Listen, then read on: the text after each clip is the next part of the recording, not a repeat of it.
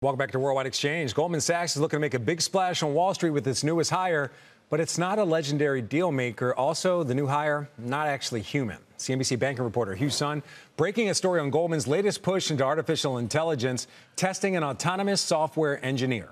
The program is called Devin, and Goldman tells CNBC it's expected to join the ranks of the bank's 12,000 human developers. Hugh Son joins us now. Hugh, good morning. Now, this is a pretty interesting story. It's going to raise a lot of eyebrows, as we mentioned. So it's Devin, it's agentic AI. Why don't we start off with what exactly does a software yeah. developer do at a bank? Yeah.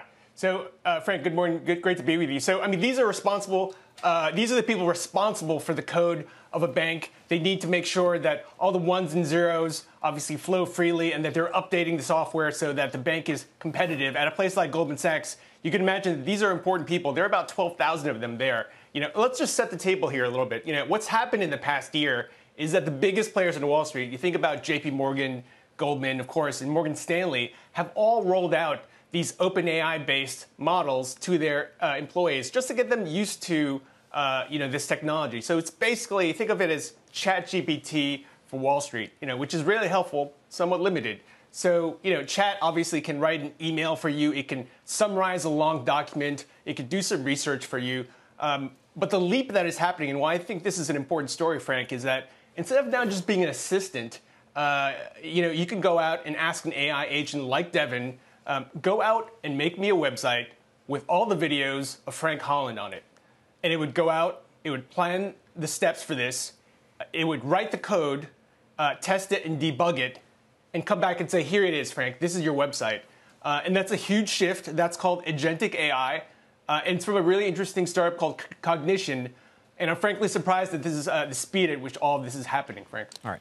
Hugh, you've done some really great reporting on this. Uh, you reported that JP Morgan and Morgan Stanley, they've also rolled out um, basically models and assistance based on uh, OpenAI models or uh, assistants based on OpenAI models. So exactly where is um, where's the data coming from for this Goldman agentic AI system? Is it coming from inside the company? Are they pulling it from somewhere else? How are they going to train it?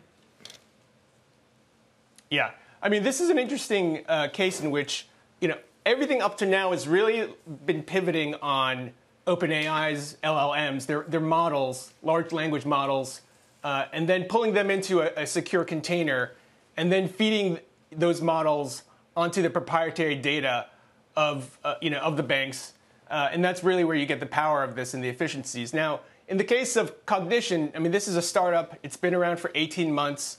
It's gone from zero to a $4 billion valuation, uh, which is remarkable in 18 months. It's, it's backed by Peter Thiel.